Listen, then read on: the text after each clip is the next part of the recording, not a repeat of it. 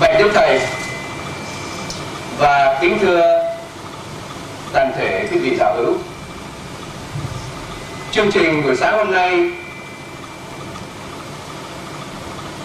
sẽ khởi sự từ 9 giờ cho tới 12 giờ và vẫn tiếp tục những chương trình của ngày hôm qua bàn đạo cho cảm tưởng và trình bày kết quả tu học và nêu thắc mắc để nhờ Đức Thầy giải đáp.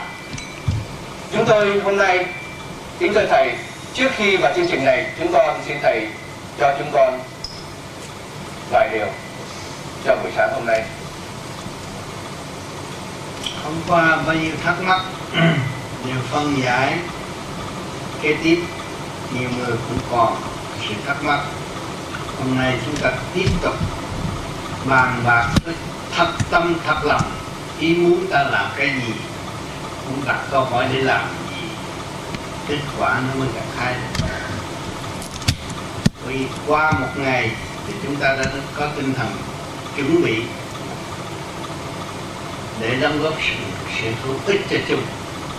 Nên khi lên nói những thắc mắc cái gì cần thiết mình cứ hỏi trực tiếp. Phân giải cho nhau để đóng góp cho những người có dịp coi của video này.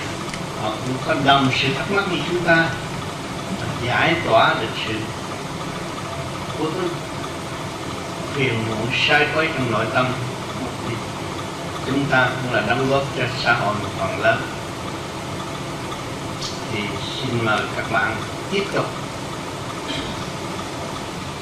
Rồng ở trước mắt con thuyền có một cái gì hào quang sáng. Con mới nói là sao dài quá. À, người đó mới kéo sợi dây nó lên. Những cái điều mà con đã thấy con đã thắc mắc trong lòng con con muốn nhờ thầy giải đáp dùng để con được mở rộng. Trí con ra để con con lo tu học. Nam mô a di đà phật. Để dự khóa nam mô a di đà phật và đã thực tâm niệm nam mô a di đà phật. Thì cái điểm nó phát triển như vậy, rồi sau này nó thâu ngắn ở trước ngực. Thấy có sâu chủ ý vào chữ vạn ở trước ngực đó là lúc đó mở tâm mở trí nhiều hơn hướng về Phật nhiều hơn. Dạ con kính tội ơn thầy.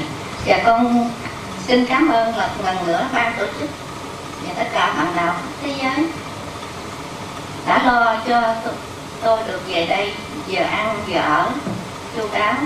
Cái kỷ niệm này tôi xin hứa là về tu tập nhiều hơn và ghi mãi trong tấm lòng của tôi xin hát Chúng tôi xin mời anh Minh ở Adelaide.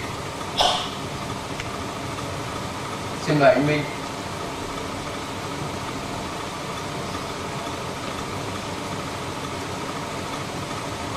con đầu tiên tới ờ, dự khóa học tu thiền tịnh khẩu à, mấy ngày nay con tịnh là nữ bây giờ con không biết phải nói cái gì á thưa thầy.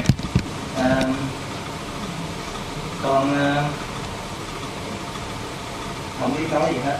Cố gắng tinh tấn uh, tu hành theo phương pháp của thầy đã ban. Không biết nói gắn niệm Phật rồi sau này nó mở miệng nói không kịp. Dạ xin hết Cảm ơn anh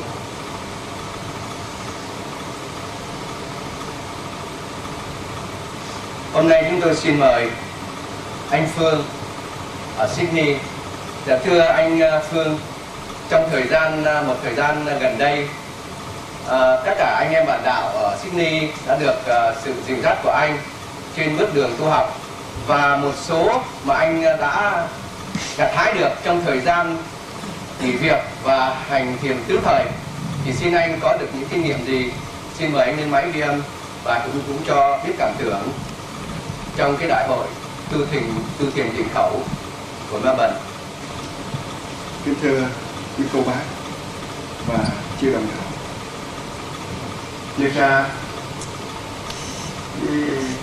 con đến đây cũng hơi trễ, và thì có vài việc riêng, thành ra cái dự cái khóa không được chọn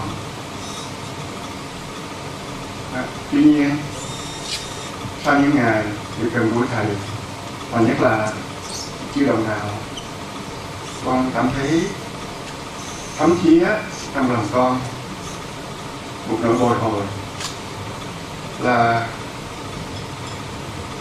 tất cả những cái lý thuyết này, lý thuyết kia nọ đều chung quy, cũng cô động lại trong hai chữ tình thương và thuận hòa nếu mình thực hiện được những cái điểm này thì mình thực hiện được đạo ở trong lòng mình. Cái lý tưởng là như vậy. Nhưng mà chính chúng con cũng còn rất là bê trễ rất còn à, thấp thỏi trên con đường tiến hóa về tâm linh. Mai duyên chúng con có được thầy à, hết lòng dìu nhắc. Và đỡ nâng mọi mặt đời cũng như đạo chúng con. Cái âm thanh này chúng con không bao giờ quên. Và trong thời gian như Minh nói, con nghỉ việc khoảng một năm nay, thì con cũng cố gắng áp dụng cái pháp này nhiều hơn. Những lúc trước, thì thực sự cái ấn chứng này kia nọ, con, cái điều đó con chưa cảm nhận được nhiều lắm. Mà riêng có cái điều này có cảm nhận được đó là mình càng hành thiền nhiều thì lòng mình càng thân thang càng tịch mịch càng yêu thương. Chính cái đó con cảm nhận được rất nhiều. Và cái rung động này thật là mạnh liệt à, thì con qua cái pháp này qua cái dư dẫn dư dẫn của thầy cũng như cái tình bỏ bọc đỡ nâng của đồng nào con thấy mình thật là vui à, thật là may mắn. Thì những ngày mà trở về ngôi bệnh này con có cảm tưởng như trở về cái nôi của vô vi của úc châu. Thì tất cả có anh em có bạn bè có thầy có bạn cái tình thương thiệt là thấm thiết. À, thì con nhân đây cũng cảm ơn thầy cảm ơn chung à, các đồng đạo. Xin mời anh. Tất cả các anh em bạn đạo thì có nhiều cái niệm là như thế nào? Nhưng con thì cái cảnh hay rất thật lẹ cho mọi người rồi vui nhưng mà những, những nào quả này trong bạn ngày qua thì mấy anh em bà con của nhất mò tê đau nó tới cũng không tới rồi pha thả thì uh, lúc đầu nó, nó nhất á thì thầy cứ bảo cái niệm phật cái niệm phật con trai niệm phật cho nó phật nhất. Sau đó thì uh, con mới ờ, kiểu ngồi vừa ngồi vừa niệm phật cái đầu thì niệm phật rồi lên cái lên thì quay cuối luôn quay vòng vòng vòng vòng rồi để cho nó đỡ nhất cũng đỡ nhất. Rồi ờ, nhìn mà mắt nhìn xung quanh thấy lên bạn nào người ta còn còn cọ mà lắm thay vì cái đầu à, cái lưng quay vui luôn thì cái vai cũng quay vui luôn vậy. Nhìn xa xa thôi thì chút xíu nữa thấy mặt mấy bạn người thì giận hào. Nó cái ngóc xuống thế này con thấy là rồi là nghe cái băng của thầy nói là niệm à, danh cha niệm danh phật không phải là để cầu cha, cầu phật. Và khi đó đau biết quá, không thể hiểu được cái lời sâu xa của thầy giảng. Về nhà khỏe rồi nằm nghỉ lại. Ngày hôm sau thì bắt đầu vào thiền, thì cũng tình trạng như vậy. Thì con càng nhiều cái nền đau bao nhiêu thì càng nhất bấy nhiêu. Thì à, không con nghĩ thôi, bây giờ không nghiệp trên nền đầu nữa. Mình làm đời bàn và thằng nhất này chơi cái vui. Rồi con niệm Việt Nam, một cái độ mình nhất á thì tình thế hư hư hư hư nhất quá. Thì vừa nay mình niệm Việt Nam, cái thấy một cái hay niệm luồng thấy lắm nó tập trung ngay cái chỗ cái nhất á, thì tự nhiên nó than mình là không phải vô lý quá. Con mình tiếp tục được. Nam Mô A Di Đà Phật, tiếp tục cái chỗ đó mà mình niệm một cách thông thạo thì chỗ đó nó sẽ nhất. Rồi cái đó không phải là không đi nhẫn tâm không nghe lại thì có bây giờ cái chỗ nào biết mình niệm lại có coi chưa? Thì không có chỗ nào biết cả. Còn mình tập trung lên một đầu cũng hướng thẳng lên cái nọ trên trời. Còn điều là thì khoảng chừng vài ba phút sau thì biết nhất làm là nhất bên trái nhất bên phải nhất sọt nhất, nhất chỗ nào thì con cứ ý để đó con niệm nam mô rồi con giải tán rồi thì tất cả những con giải tán đi. Nhưng có thấy là làm phật như vậy á, thì tại phải là thẳng đường thẳng lối đến tay ta. Cho nên con cái tìm này đi kể cha như nhất con cái niệm thẳng một mặt rồi không cần bị suy nghĩ nữa nhất mọi đó nữa. Thì cái đến ngày hôm nay thì tình trạng nhất rộng bớt rất nhiều. Mà khi một cái lần mà niệm Phật xong như vậy thì người thơ phải vui vẻ. Thì đó là từ kinh nghiệm trong bài này chúng ta cũng không còn học của con. Và bây giờ con xin thầy từ bi à, dạy cho con. Cái nhít đó mình thấy nhít nhưng mà nhít có hữu ích gì cho chính mình không? Tạo kiên nhẫn và ý lực. Và thấy rõ mục đích mình ngồi đây để làm gì, thiền để làm gì mà cho nó nhất như thế này. Mình mới hiểu cái nhất này là tạo mà cái cầu tiến tôi là chấp. Thì tự nhiên luồng điển nó rút lên bộ đạo, thẳng tiến lên một đường. Thì cái kinh nó xóa nó mới là hết. Cái đó là để tạo cái ý lực thăng hoa của chính mình thiền có mục đích gì? Hữu ích cho chính mình. Để giải tỏa tất cả những trượt khí trong cơ tạng, thì mình phải có cái ý lực thăng hoa mạnh mẽ, giải thoát cho chính mình. Thì một hồi nó sẽ tiêu. Thậm chí ngồi thiền mà cái dục tánh nó phát khởi, là ý lực mạnh mẽ, xuất phát cao tầng. Để tiến hóa, không ngừng nghỉ, thì tự nhiên cái ý lực nó thanh nhẹ và nó giải bớt cái dục tánh đi. Hẳn nhất là đối với thanh niên. Cần cái đó người làm khi chúng ta ngồi thiền, mục đích để làm gì? Để tiến hóa qua một những giới thanh nhẹ hơn. Trường sanh bất tử. Chúng ta luôn tìm cái đó chứ không phải tìm cái nhất thì cái nhất nó phải tan.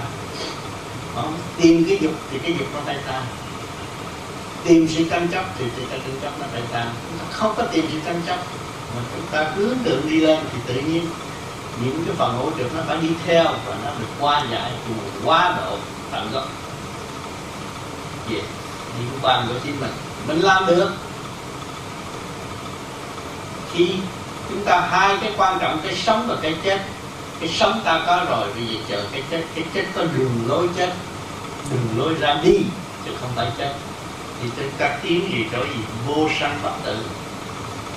Khi lực mạnh như vậy cho nên nhiều người ngay ở Việt Nam, hiện tại ở ngoài miền Bắc ở chùa Đậu cũng có mấy ông thiền ngồi đó, ngồi luôn đó bây giờ bộ xương còn đó. Đó, ta chụp hình nhiều thứ gì? Bây giờ thầy cho con hỏi. Câu xin thầy mở lòng từ bi và ngày cho tụi con để cách thằng bò cái lỗ trên cơ thể của người mình thì có chỉ đường lối đàng hoàng mình phải niệm từ từ không có nôn nóng không có dùng cái bản tánh nôn nóng và cái mong muốn luôn luôn mình đặt cái kim trình nam cái nó là quan trọng lắm. Yeah. là nghe cái chấn động thanh nhẹ đó nó biến tới thanh nhẹ còn thanh nhẹ nữa thì nó mới giải cái trực phân tâm yeah. nam mô nó dài cái nâng đằng sau đó cái đó định đi tới không. Mà trong không nó còn không nữa. Nó mới phụ thuộc những những vô sanh nữa không phải niệm nam mô a di đà phật để cho ông phật phù hộ được cái trật lắm. Mà niệm nhân á còn còn cô đọng một cục nữa. Nam mô di đà phật là cái bản tính lười biếng niệm cho cố để che lấp những cái tội trạng của chính mình. Còn niệm từ từ để giải từ cái trượt cho cái thanh nam nó đi mô nó đi phải nam mô gì phật nam mô phật nam niệm chừng nào? Nhất chừng đấy. Đúng như vậy. Không đúng. Không cái thầy nói là đúng. Để giải nó ra là nó khác. Mình tu để chi? Để giải nghiệp tâm. Yeah. thì những hành động mình phải dùng diệu pháp để giải. Có người sân si nóng giận dục tánh là vì bị cô độc. Giải không được. Giải được không có không có sân si có dục tánh Yeah. nó thông rồi không có gì đâu. Nhẹ bởi vì nguyên lý của nó là từ đâu đến nó phải về đó.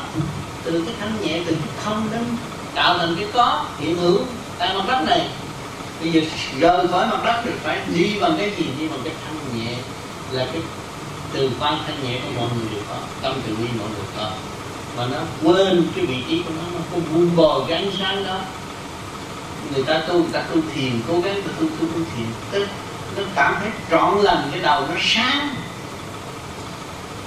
Thì nó đâu có nghĩ chuyện trần trượt thế gian nữa. Cái đầu lúc nào cũng như nhắm mắt vào cái đầu sáng. Rồi thì nó ngồi mấy tiếng ngồi. Nó có sao. Cái thầy bây giờ ví dụ như mọi xa ở cái sau thì hai cái thần đó thì mình tập trung cái niệm nam mô như này. Cứ điện thì tự nhiên tự nhiên mà cái chuyện. Mà cái pháp luân thường chuyển phải làm đều yeah. Pháp luân thường chuyển làm đều thì nó mở rộng ở bên trong được. Đó là diệu pháp. À, diệu pháp liên qua kinh là nó đưa những cái thần kinh trong óc mình đều mở phóng sáng ra hết. Không có không có niệm phật mà nó chạy túa ra màu xanh màu tím cái đó là lâu. Mà ta gia tăng cái niệm phật còn lâu nữa.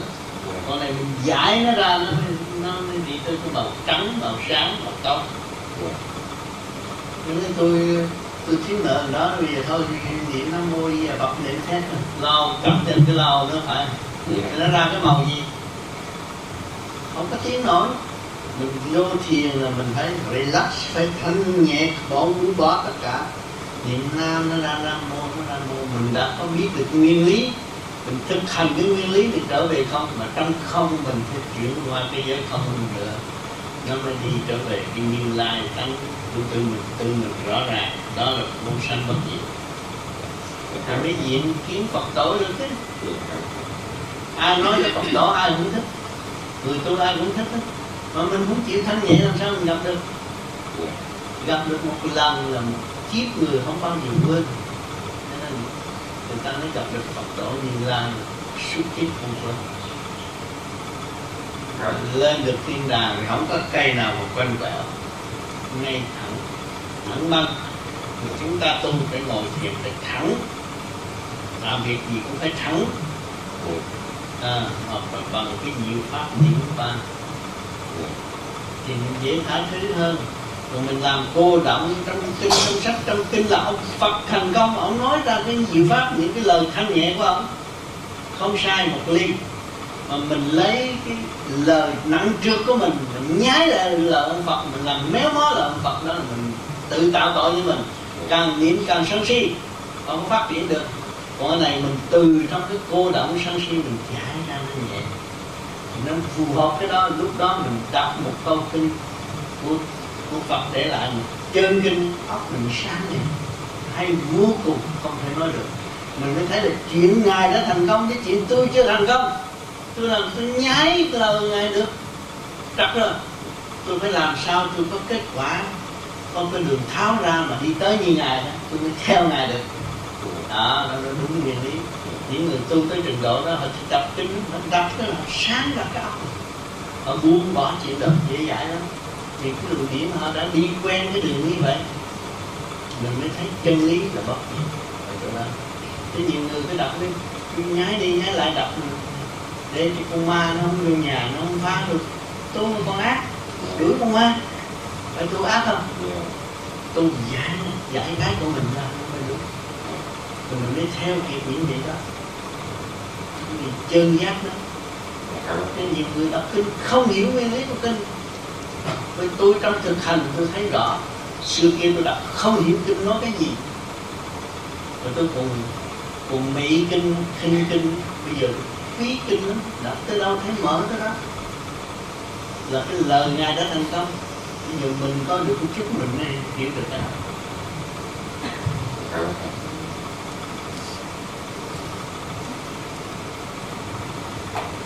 Bên suy nghĩ chúng tôi mời cô Nguyễn Ngọc Vân mời lên máy. Chào thầy chào các bạn đạo ở ờ, trên thế giới cũng như đạo ở Melbourne, Sydney, Adelaide và thờ. là bác sĩ là linh cho nên không biết nói gì. Trong thời gian mà tịnh khẩu thì coi như là con cũng không tịnh được nhiều thành ra thôi, nhưng mà cũng nghĩ rằng là cái tâm của mình định thì tốt hơn là cái ờ, cái miệng mình không nói, nhưng mà thôi mình nghĩ cái điều sai quấn trong thời gian mà người này gọi đạo từ học ở đây thì con cũng học hỏi được nhiều. Và cũng con cảm ơn thầy nhiều lắm, thầy cũng giúp con nhiều, con cảm nhận điều đó. Và những cái lần diễn như vậy thì những đó hành trang con sẽ cố gắng hơn nữa, để con không phụ lòng tin của thầy cũng như các bạn đã cho tôi được miễn phí giây phút thanh nhẹ. Xin hết lời. Chúng tôi xin mời anh Hào Melbourne.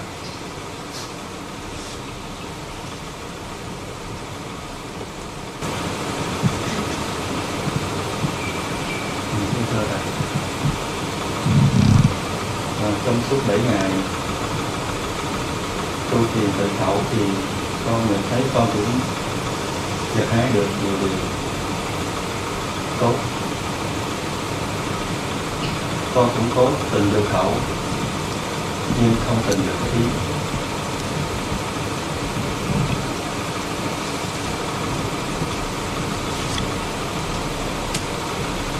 Ờ, cũng nhưng cũng nhờ tịnh khẩu con mới nhận thấy là tâm của con nó rất là hồn nó ích kỷ nó hay như là nghĩ xấu từ người này nghĩ xấu từ người kia nó hay phân biệt ờ, uh, tốt xấu thiện ác.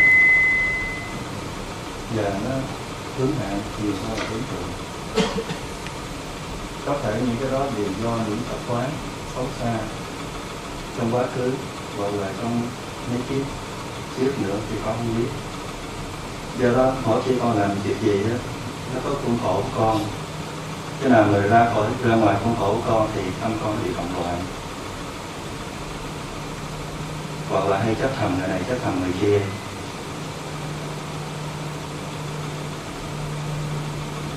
Do đó, mỗi lần con đụng chạm chán chuyện gì, thì con niệm phật thì nó hướng thượng. Nhưng mà rồi, khoảng nửa tiếng sau đây hướng thẳng trời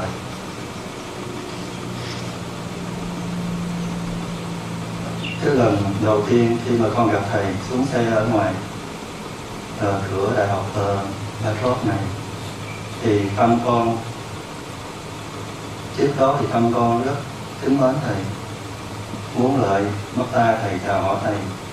Nhưng con không hiểu tại sao mỗi khi con gặp thầy là con bị khựng lại con không dám tiến tới gần thầy.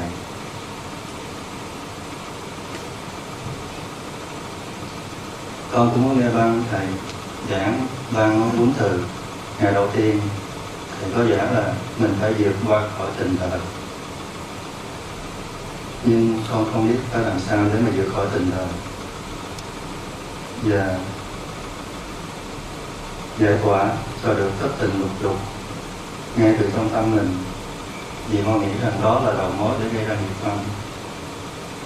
Con kính xin thầy chỉ dạy con khi, khi mà con thấy nam mô di đà phật mình niệm được mà hướng thượng lên mình phải giữ cái phần đó tiếp tục niệm lên thì cái thức quan động mới mở. Lúc đó mình gặp ai cũng trong tự nhiên và hồn nhiên. Cái căn bản tự nhiên và hồn nhiên luồng điển nó trụ ở trên đỉnh đầu rồi thì gặp ai cũng vậy không có mê chấp gì hết. Thức hòa đồng mở chẳng có gì ở thế gian không có gì quan trọng thức hòa là mình chưa mở. Khi muốn gì mà tới đó mình tự tại vì thức hòa chưa mở. Chưa thực tâm thực lòng quá giải, niệm phật. Nguyên lý của nam mô di là phật để để hai tâm mở trí, mở cái đại trí của chính mình. Thức hòa đồng nó mới nó mới có. Mà thường xuyên niệm như vậy. Ban đầu niệm thì thích thú tự phật này cái tên niệm. Rồi tiếp tục niệm, thấy không có gì chán, có một số người như vậy. Nhưng mà khi chúng ta niệm, phải tìm chiều sâu của nguyên lý, có cách nghĩa rõ ràng. Nam là gì, mô là gì, phải học rõ những cái đó. Thì tự tất cả nó gom lại một, cũng là không. Kết quả động nó mở. Lúc đó con đường tự nhiên nó mạnh dạng để nhớ nam mô di đà phật nó không có niệm nam mô di đà phật một cử một động từ ở trong cái nguồn gốc của nam mô di đà phật mà thôi. Thì nó không có e lệ, không có gì việc mà khi mình dấn thân làm việc gì là làm, không có không có cái gì mà tính toán. Sau đó không có.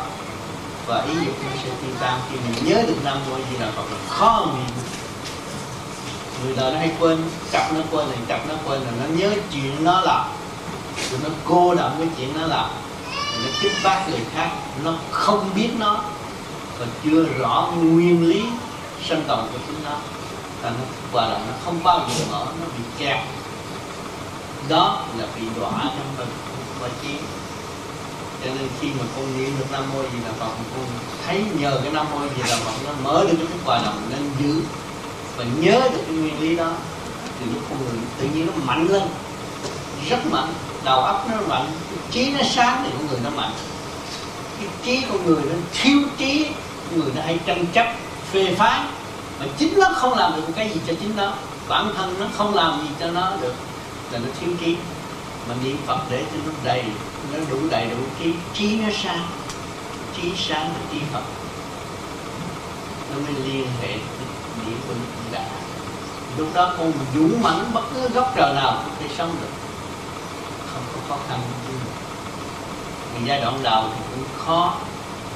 Nhưng mà vạn sự khởi đầu nan con tuổi trẻ mà con chịu làm soi hồn pháp luân trên nhiều thì cái, cái ý dục nó sẽ đi và niệm phật nhiều. Nó tụ lên trên bộ đầu. Lúc đó tất cả những phức tạp tiêu tan cái trí nó càng ngày càng sáng rồi đây con thực thi làm con thấy những lời thầy nói đúng. Thầy không có nói những cái gì mà thầy con làm. Trước kia thầy cũng vậy đó thôi. Nhưng mà rồi rồi bây giờ thầy thấy càng ngày con người nó càng khác thay đổi. Cũng nhờ cái niệm phật nên đem ra cho mọi người học để tiến ban đầu thấy cái nam mô di đà phật rất đơn giản người ta đi tu ông tâm tạng có, có bao nhiêu cuốn kinh mà mình có sáu chữ mà làm hoài nhai hoài. Cũng tích nha. Mình nhai thép rồi nó khác nó thay đổi. Từ đó mình mới truy tầm ra mình hiểu được trí là cái gì. Thiền hết rồi cái óc nó sáng ra, nhắm mắt thấy sáng ra. Những chuyện mê chấp đụng đâu mình giải đó được. Ta nói trong trường nó có vậy mà khi mà cái trí con đầy đủ rồi mình đâu không giải đâu mình lúc thiếu trí thì cái gì mình cũng muốn phê bình người ta. Chê đạo này, chê đạo kia, chê đạo nọ, rốt cuộc chưa biết chê mình là đồ ngu. Hồi thời kỳ tới thầy cũng làm đồ ngu, thời gian lâu lắm rồi. Chê đủ thứ hết. Rồi từ khám phá ra, khai thác mình ra, sử dụng những nguyên năng của mình, phát triển tâm tư sáng lạng, đêm đêm ngồi thiền chỉ mình có lỗi chẳng có ai có lỗi sửa mình. Thì óc nó sáng mình nghĩ lỗi của người khác là mình ngu quá. Sự thật nó vậy. Thầy có trong cái trường hợp đó thì nó nói nó đúng đắn như vậy không có sai đâu. Dạ, không. phải trách mình không nên trách ai. Áp dụng cái đúng nó mở ra. Tức hòa đồng nó mở rồi thì sao con đâu có khổ nó sung sướng lắm. Ví dụ nó đâu có lôi cuốn. Rồi trí tuệ nó thì càng ngày càng phát quang ra Dạ, con xin cảm ơn thầy. Dạ, con xin phép tại thầy ba là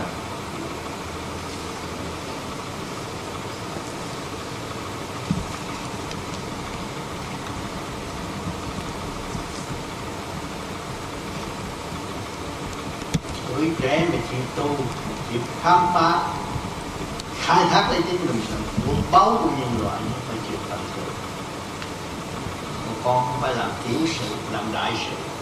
Ông thích ca, ông tu cho ông, rồi bây giờ mấy ngàn năm năm, vì mấy ngàn năm người ta còn còn niệm danh ngài, tại sao? Ông tu cho ông thôi. Sửa ông tiến hóa, ông hào quang ông sáng lạng chúng sanh nó đi theo ông tầm đạo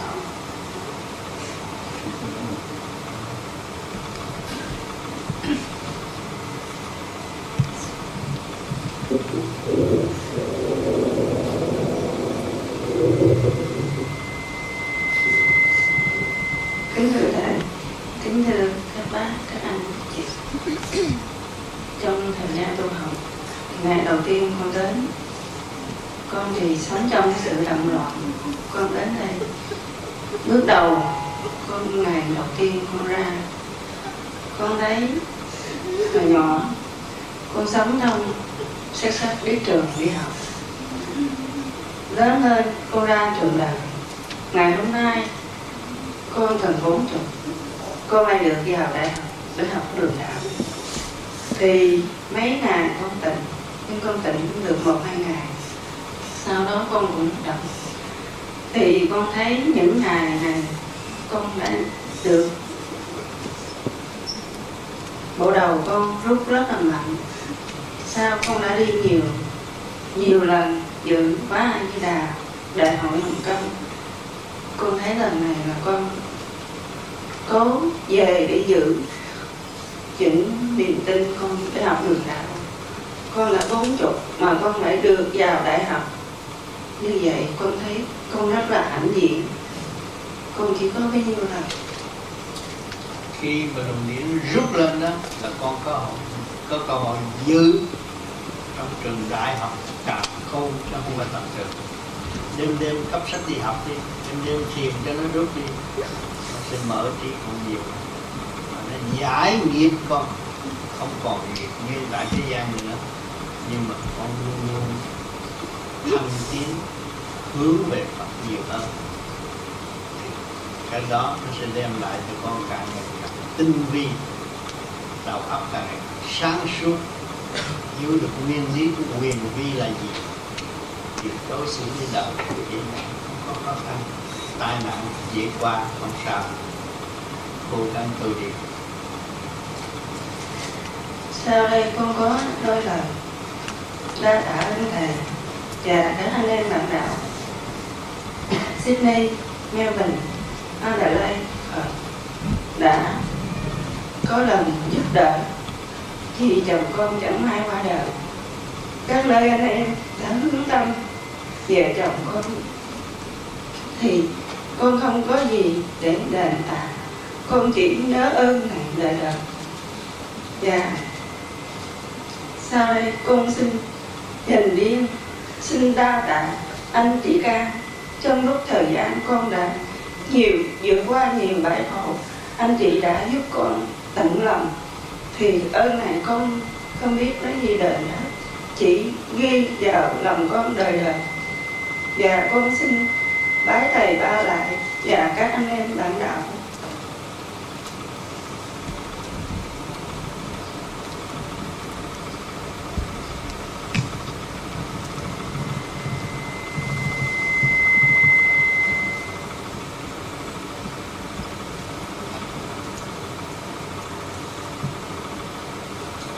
Qua cơn đau khổ thử thách, biết đường tu mọi sự sẽ vượt ở tương lai.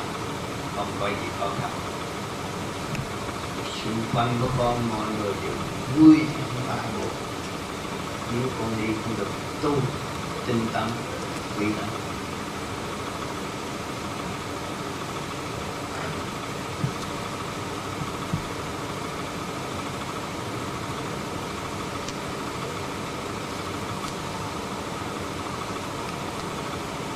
Thầy và thưa quý vị, chị Tư Kiên trong khóa học này sau 7 ngày tỉnh khẩu, chị đã phát tâm đặt in 500 cuốn sách khai ngộ chân lý quyển mới nhất của Đức Thầy mà ngay buổi đầu chúng tôi đã giới thiệu đến quý vị.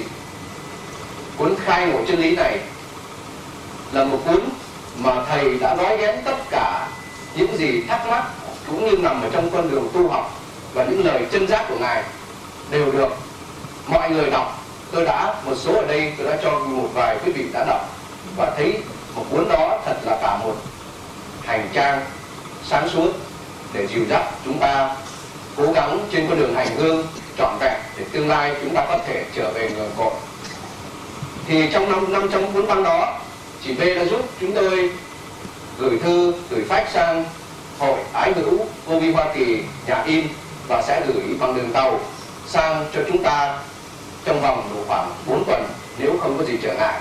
Thì khi đó, chúng tôi nhận được sách sẽ phân phối đến cho các thiền đường ở các nơi và quý vị nào có thể liên lạc với thiền đường trong tương lai để có cái cuốn khai ngộ chân lý của đức thầy. Sau đây, chúng tôi xin mời chị Thanh lên đọc lá thơ của Việt Nam gửi qua. Xin mời chị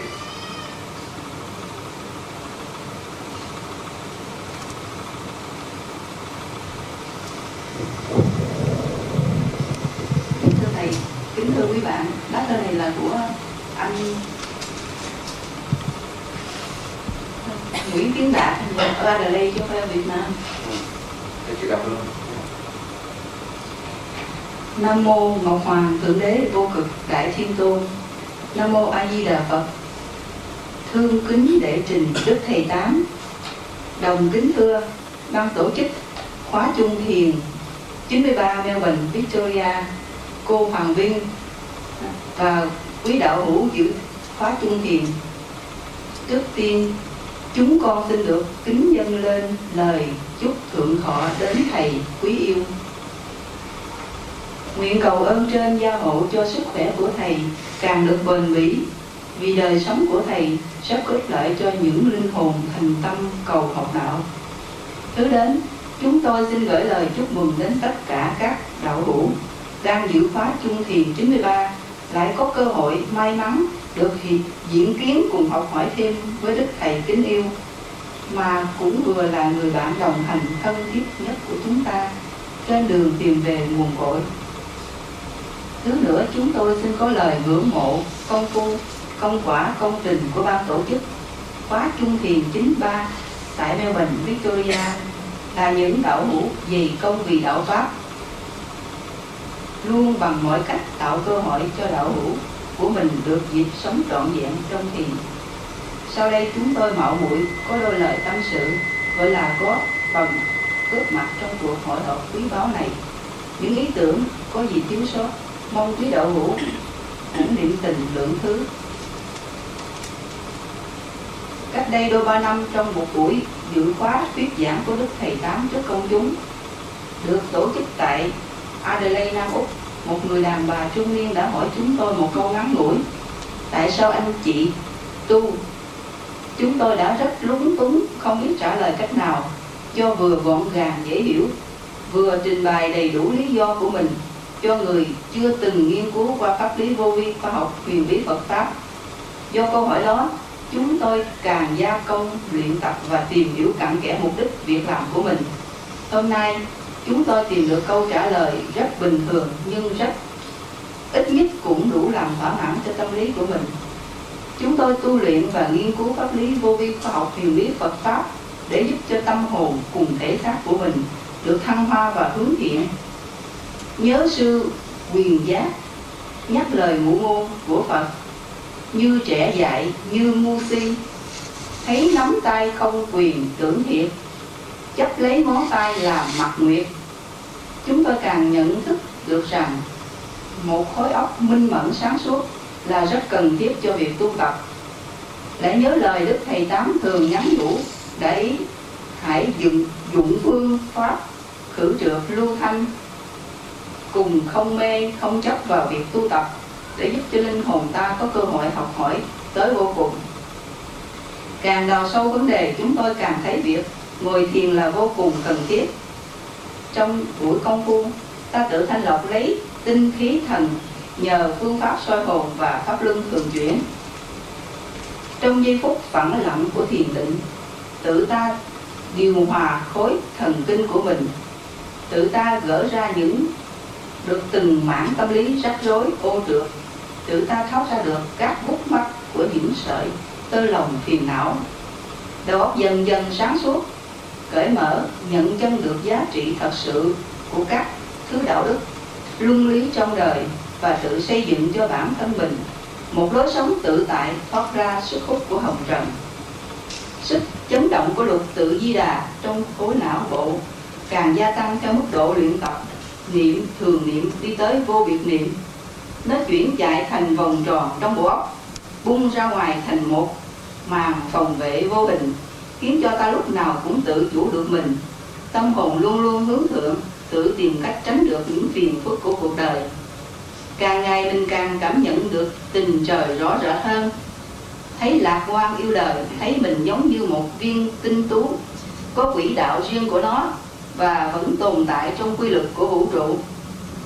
Thấy không còn bị đắm chìm trong vòng đau khổ nữa. Tâm từ bi và dần dần mở rộng tôn trọng vị trí từng căn cơ của trường đại học càng khôn. Dù không theo hẳn một tôn giáo nào trên đất, chúng tôi đều yêu những điều hay, điểm đẹp của mọi tôn giáo. Nếu xét ra trước lý đó, có đóng góp được thực tế vào lợi ích chung của xã hội loài người, chúng tôi càng thấm thía lời nhắn nhủ của đức thầy tám. Phải biết minh vi thiện, đừng nên thiện vi bất minh qua những va chạm từ cuộc sống. Do đó mà càng lúc càng tránh được những hành vi không cần thiết, giảm thiểu được những cảm xúc của phàm tính tầm thường. Tùy nghi sử dụng mọi phương tiện, do vạn vật đóng góp để sống và học hỏi, trao luyện cho linh hồn càng văn minh tiến hóa, thích nghi cùng mọi hoàn cảnh. Chúng tôi xin được mượn lời sư huyền giác ở phần tự giác trong 19 chân trời thiền để làm đoạn kết dòng tâm sự này. Kính mong quý đạo hữu mở lòng thông cảm, tự giác, tự thời thoát ngộ pháp vô sanh, cơn vinh nhục mừng lo gì tá vào rừng sâu ở lan nhã, núi dựng tùng già ôm bóng cả, thông dông ngồi tịnh mái chòi tranh, cảnh lặng lòng yên thanh thoát lạ. Nam mô a di đà phật, là phật vạn vật thái bình tầm chân cư sĩ cẩn bút